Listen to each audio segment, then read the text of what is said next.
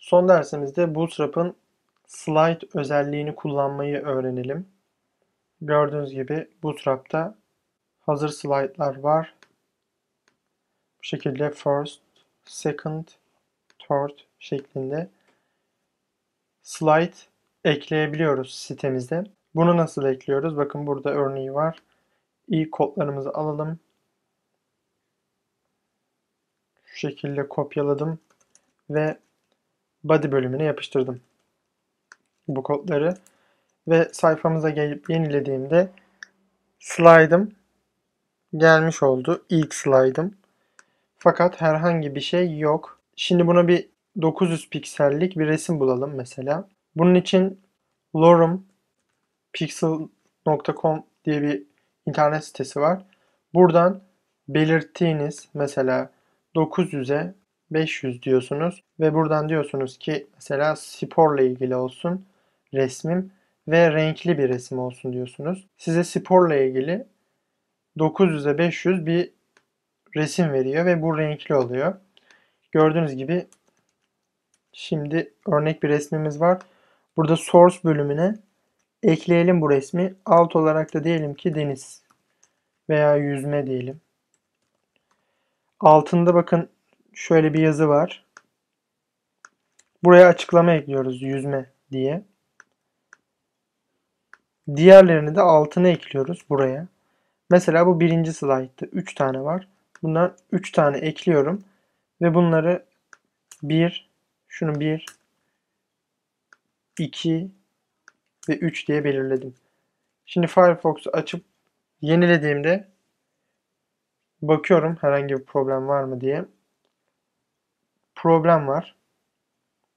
Resimleri slide olarak değil de normal resim olarak alt alta aldı. Bunun nedeni ne olabilir? Ona bakıyorum. Şimdi burada herhangi bir problem yok. Div olarak hepsi item aktif olmuş. Bunların şöyle olması gerekiyor. Item aktif olduktan sonra diğerlerinin item olması gerekiyor arkadaşlar. Bu düzeltmeyi yapalım.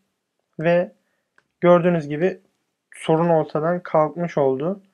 Yüzme neymiş? Birincisi tenis dersek, ikincisi yüzme, üçüncüsü bisiklet. Tenis, yüzme ve bisiklet. Şimdi kaydedip yeniledim. En başta tenis, artık bu tenisse, tenistir umarım.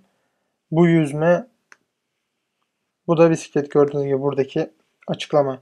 Fakat görüyorsunuz sağ tarafta bir boşluk var ve görsel olarak iyi durumda değil. Öncelikle bir tane div oluşturalım bunların dışına, tamamının dışına. Bu divin ismi container olsun. Şey klası container olsun. Firefox'u yeniledim. Bunu bir container içine aldı.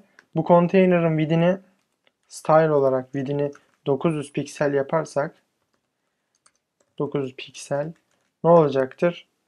o sorun ortadan kalkacaktır arkadaşlar. Gördüğünüz gibi slide'ımızı da ekledik. Şimdi başına bir tane components kısmında şurada vardı.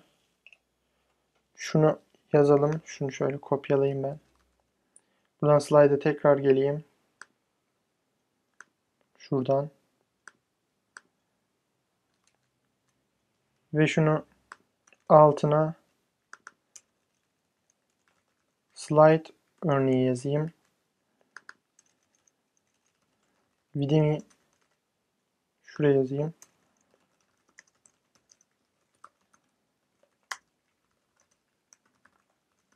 Vidimi için hazırlanmış slide örneğidir yazıyor. Şimdi yineledim. Slide örneği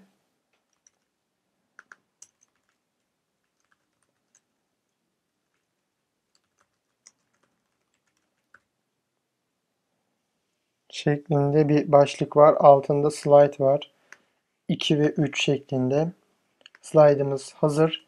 Şimdi slide'a verecek. Normalde bu özellikleri es geçebiliyordum şu alttaki. Fakat bunda bazı önemli özellikler var. O yüzden bunda bahsedeceğim. Script arasında neler yazabiliyoruz buna? Şimdi interval özelliği bildiğiniz gibi 2 saniyede bir geçmesi sağlıyor. 1, 2, 1, 2 şeklinde gerçekten 2 saniyede bir geçiyor. Eğer ben bunu 1 yaparsam yenilediğimde 1, 1, 1 sürekli 1 saniyede bir geçiyor gördüğünüz gibi. Bunda da herhangi bir sıkıntı yok. Şimdi wrap örneğine bir bakalım. Wrap dönmek demek normalde.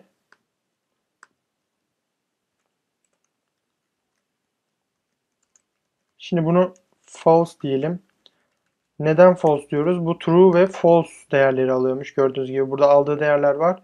Boolean yani true ve false değerleri alıyormuş. Default olarak true alıyormuş. Biz bunu false olarak değiştirelim.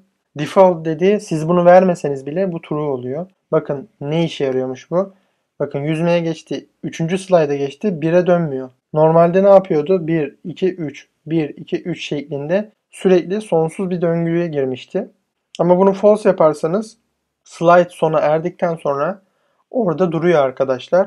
Bu özellik ona yarıyor. Pause özelliği ne işe yarıyormuş? Bakalım ona. Pause.